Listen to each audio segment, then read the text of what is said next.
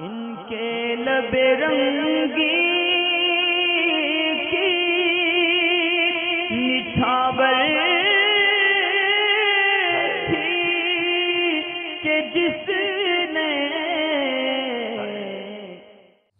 ये तो जो बात है, मुस्तहब बात की है, एक हदीस पाक के अंदर हजूर ने फरमाया, यानी अपने सहाबाओं से मुखातिब होकर ये अर्ज़ की कि अब जैसे ईमान की ये दस बातें हैं इसमें से जिसने नौ पर अमल करा, यानी एक को छोड़ा तो वो हलाक हो जाएगा। फिर आगे फरमाया कि एक वक्त ऐसा भी आएगा कि जहाँ इन दस में से एक पे अमल करने वाला भी हलाकत से बच जाएगा, नौ को छोड़ने वाला। यानी दौर इतना पुरफितन होगा कि मुस्तहब की बात करें अमल तो बाज़ लोग तो यानी सुन्नत तक को भी तर्क करते हैं कि उनकी तरफ़ ध्यान नहीं जाती।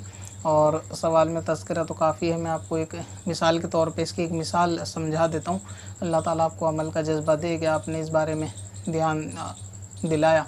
अब वज़ू ही का बात करें, अगर हम तो आपने देखा होगा, वज़ू के अंदर जो सुन्नत है, यानी किसी भी उज़्व को, किसी भी पार्ट को तीन मरतबा धोना ये सुन्नत है। अब यहाँ तीन मरतबा धोने से क्या मुराद है और आवाम इससे क्या समझती है? अक्सर ऐसा होता है कि यहाँ तीन से मुराद जैसे पानी को लीप में लिया और धो लिया, यानी जैसे अगर ये हाथ धोना है, कोई भी शख्स इस हाथ को तीन बार इस तरीके से करता है या इस तरीके से जैसे भी पानी डाल के उसको तीन मरतबा धो लेगा। इसी तरह चेहरा वगैरह धोने से तीन मरतबा सुन्नत से क्या मुराद है कि वो पानी लेकर चेहरे के ऊपर जो है डाल लिया पूरे चेहरे पे।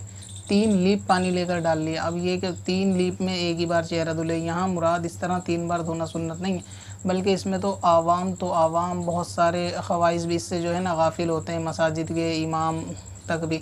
यानी वज़ू तो हो जाता है, लेकिन ये कि वो सुन्नत तर्क हो जाती है। तीन बार से हमारा धोने का जो एक कॉन्सेप्ट जहन में है, वो ये बना हुआ है कि बस तीन पानी लेकर डालना। तीन बार से मुराद ये नहीं बल्कि तीन बार से मुराद ये है कि अगर चेहरा तीन बार धोया जाए, धोया जाएगा तो पूरा चेहरा जब पूरी बार में मुकम्मल धुलेगा तो वहाँ सिर्फ़ उसकी तादाद एक मानी जाएगी।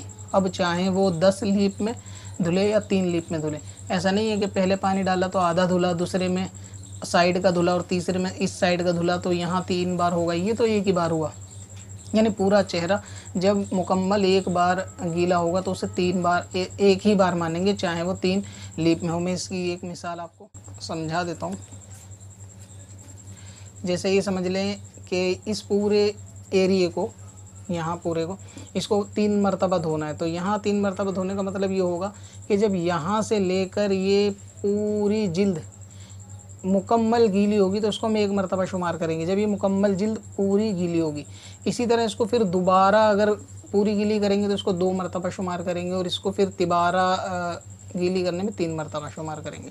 अब अगर किसी ने पानी इस पर डाला और ये पानी इस हिस्से पर बह गया फिर दोबारा में पानी डाला और दोबारा पानी इस हिस्से पर बह गया।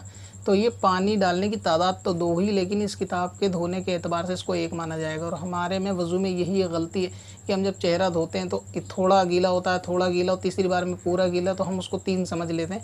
हालाँकि पूरा गीले करने का नाम एक मरतबा धोना होता है, और इसी तरह फिर दोबारा धोना है। अब तीन बार लीप में एक बार धुले, दूसरी बार की लीप में दो बार धुले, और तीसरी बार की लीप में तीन बार धुले तो भी इसको जो है पत्थर में हसन पुरनवार।